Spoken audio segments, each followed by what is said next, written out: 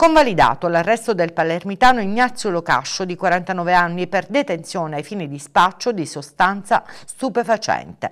L'uomo era stato bloccato dai carabinieri della compagnia di Sciacca al termine di un inseguimento lungo la statale 115. I militari dell'arma stavano effettuando un servizio ordinario di controllo della circolazione stradale e avevano intimato l'alta al conducente di una Fiat Panda che viaggiava sulla statale 115 da Menfi in direzione Sciacca.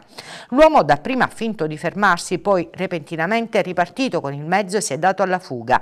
Ne è scaturito un inseguimento che dopo alcune pericolose inversioni di marcia sulla statale da parte del conducente della Fiat Panda si è concluso con il blocco del veicolo da parte dei carabinieri che hanno immediatamente sottoposto a perquisizione il 49enne palermitano con diversi precedenti di polizia.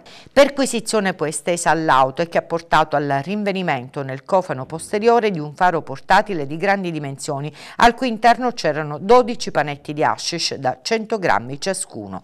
A quel punto l'uomo è stato portato in caserma e successivamente posto agli arresti domiciliari presso la propria residenza palermitana, come disposto dalla Procura della Repubblica. Ieri l'udienza di convalida al Tribunale di Sciacca con la conferma degli arresti domiciliari.